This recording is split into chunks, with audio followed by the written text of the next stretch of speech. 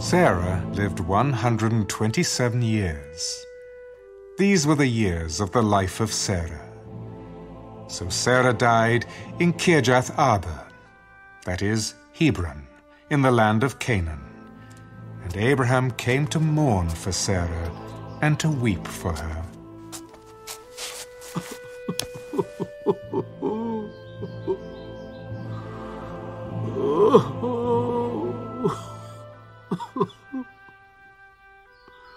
Then Abraham stood up before his dead and spoke to the sons of Heth. I am a foreigner and a visitor among you.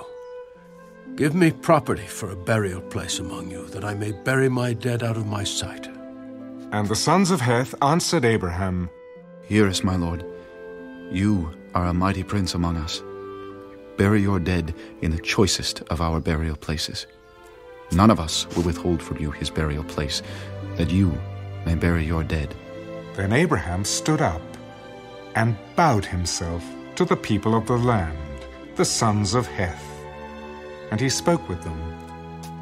If it is your wish that I bury my dead out of my sight, hear me, and meet with Ephron the son of Zohar for me, that he may give me the cave of Machpelah which he has, which is at the end of his field. Let him give it to me at the full price, as property, for a burial place among you. Now Ephron dwelt among the sons of Heth, and Ephron the Hittite answered Abraham in the presence of the sons of Heth, all who entered at the gate of his city. No, my lord, hear me. I give you the field and the cave that is in it. I give it to you in the presence of the sons of my people. I give it to you. Bury your dead. Then Abraham bowed himself down before the people of the land. And he spoke to Ephron in the hearing of the people of the land. If you will give it, please hear me. I will give you money for the field. Take it from me, and I will bury my dead there.